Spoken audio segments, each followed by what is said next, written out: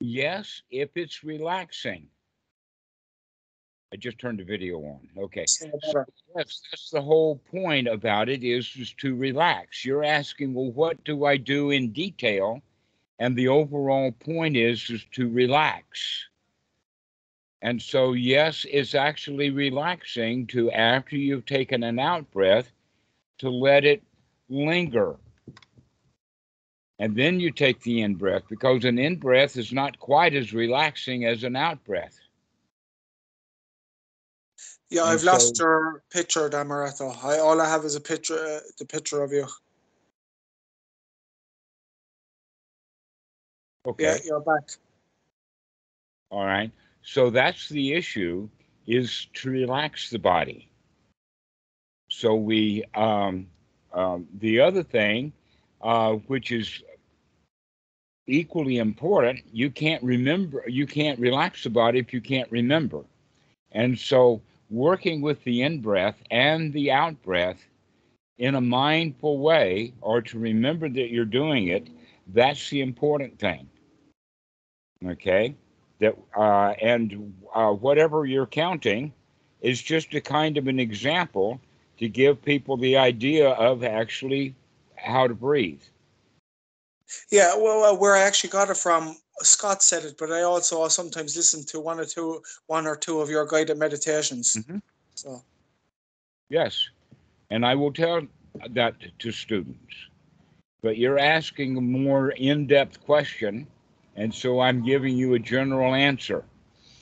All right, that the in-depth is not exactly whether it's by the second or how you're counting or whatever like that. The important point overall is, is that you're mindfully breathing. You're actually watching what you're doing, paying attention to the body as it breathes in order for you to relax the body as it breathes. That the relaxation is the important part of the uh, uh, the body function in the Satipatthana, the four foundations of mindfulness, and the number one item is the body. Why? Because the body is real. Most of what happens in the mind is, uh, uh, let us say, playing with reality, making up concepts living in a somewhat non-real world and then the emotions are generally not real I Though they- understand. so and and so the important thing then is to recognize that the body is actually real in a real place with real senses um, uh, real dangers and so we need to get the body out of the dangerous situation. We need to get the body comfortable and then get the body relaxed. That's the whole practice. So it doesn't matter how you're counting whether you're counting box breathing. And by the way box breathing doesn't really get the body relaxed. It's to keep the body um, up and alert ready for battle Wh- What I do is I, I get the mind still with the with the count and counting Dhammarato, and then when the mind is still, that's when I start injecting the positive talk, the positive self. Okay. All right. I'm not against that at all. Okay. I'm just going to turn on the telly for the young lad, but go on, I'm listening. All right. Well, what you're doing is correct. Mindfully breathing in, mindfully breathing out. And you're saying that, in fact, that you can get the mind more still so that when um, uh, that, then the positive thoughts really have great benefit for you. So it sounds like to me like you're practicing correctly.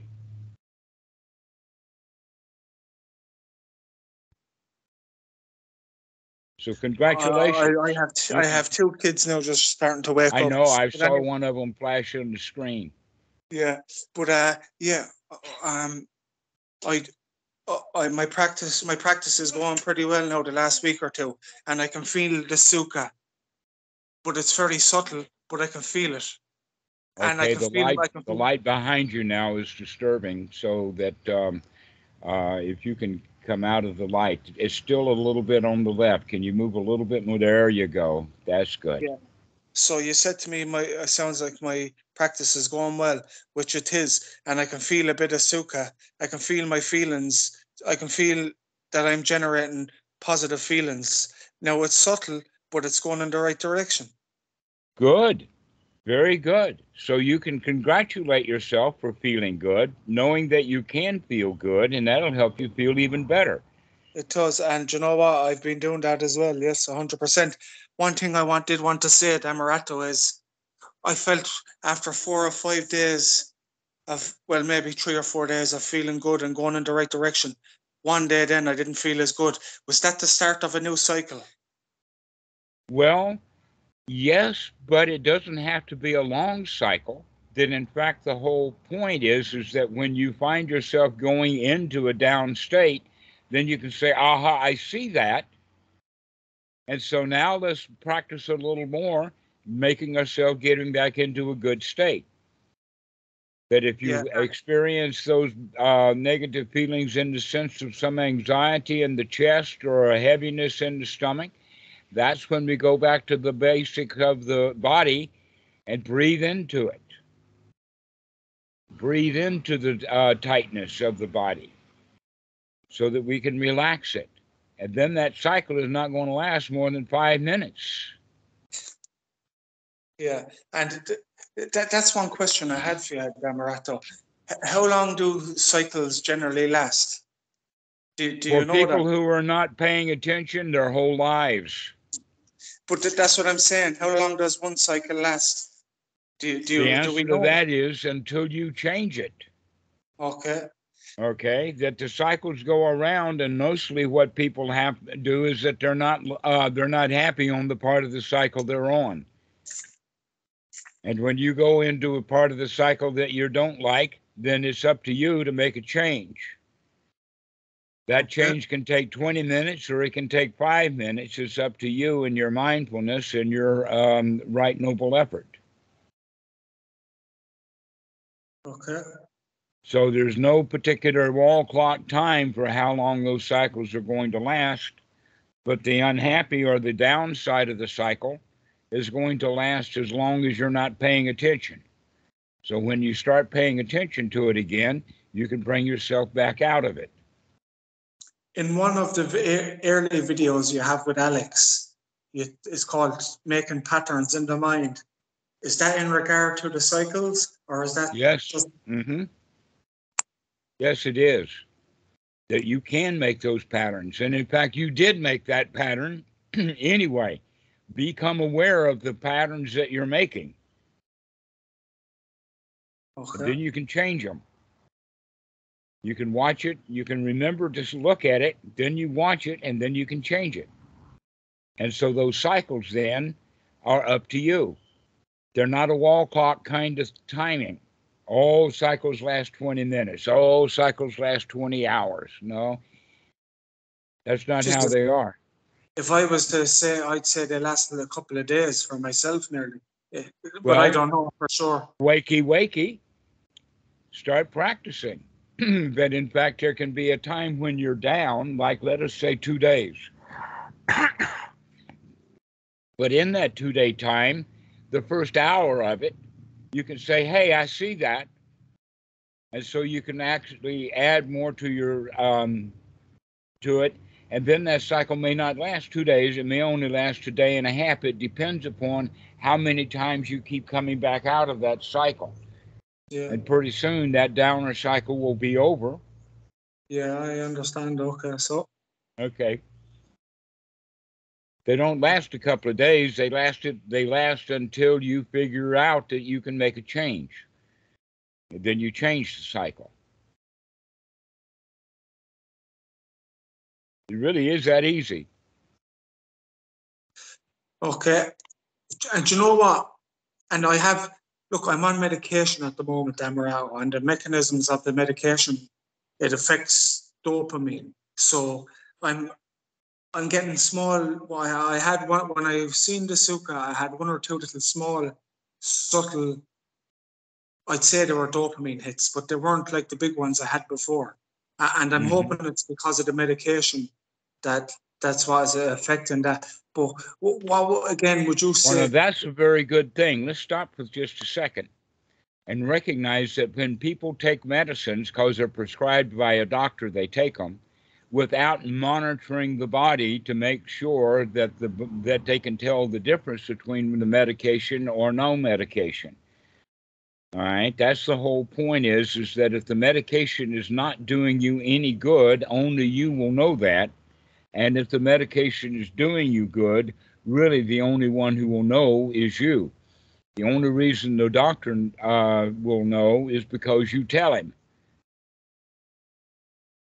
Well, look, it's something that I have. I'm, I'm on the way down. I'm tapering, but it's something that I need for the time being. However, I'm still getting ready for when I'm I'm I'm fully off. Like the the the joy when, when joy comes and it's a beautiful feeling. It's a great kick. When that Well, comes, what- But it what are the comes when you talk again? yourself into it. The joy doesn't come by itself, nor is it put in the door by some event. The joy comes because you decide for the joy to come. It's Well, up yeah, to but you. kind of, yeah, I agree. But there is kind of some factors that you have to put in play, like being in present the present moment and starting to try enjoy the present moment, and then hmm Yes, that's the whole point is is that if you can get yourself into the present moment and watch what you're doing and let that joy come, the relaxation, the comfort, the lack of fear because you're feeling safe and secure, that feeling of satisfaction and when that comes, then the joy, wow, this is really great that I'm satisfied. This is really nice that everything is working out right now. And you know where my biggest source of joy has been listening to stories about Buddhadasa. When I was Okay. it was Yes. amazing. He's a, he well, feels they're, like they're joyful stories. That's the whole point. Is is that yeah, you're gaining the joy kind of secondhand, just like Yeah. so many students gain great joy just by calling and talking to me. Yeah. I, I, I feel I've feeling it before. I, you've nearly put me into Jhana before by just being on the call with you. Yeah, sure. So why has Mm. it been so long since you've called? I've had a lot going on. I've had a lot going on. That's a really good reason to call, not a good True. reason to not call. True. Right, that's Then, true. in, then in fact, you don't need to have a lot going on. Just one day at a time is comfortable. When we got a lot going on, then we get busy, we get anxious, we get in a hurry. Yeah. And so Uh, coming out of that is a good idea.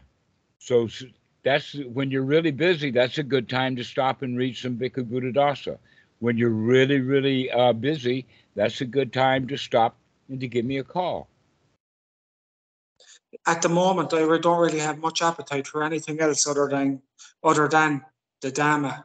No, I listen. I like listening to a bit of music, but I'm finding it hard to even watch something on TV as a movie or a program. It's all. It's just meditating. It seems to all I want to do, and I don't mm-hmm. mind helping out around the house either. Like I have no problem. I am giving a hand. Well, that could be your practice also. Thus, one trains oneself to be happy in the day's activities. but sometimes it's, uh, I find it harder when when I'm walking. That's no problem. I, I try to put in I try to be present and put in the positive self talk. But when I'm washing dishes or that, I find that a lot harder. Or if I'm Ah, but instead of washing the dishes, wash this dish, this dish, and make this a joyful washing of this dish. Never mind all of the others. If I can wash this dish joyfully get it clean, put it down, then I can wash the next dish joyfully. But you know what? To tell you the truth, we actually have a dishwasher. But it's what I'm trying to say. It's the little smaller jobs like that. Mhm. That's just an example I give you. But look, probably I know. Well, whatever it is, whether it's washing the dishes, sweeping the floor, making the bed, cleaning up the mess the children made, whatever it is, one moment at a time, enjoy what you're doing. Okay.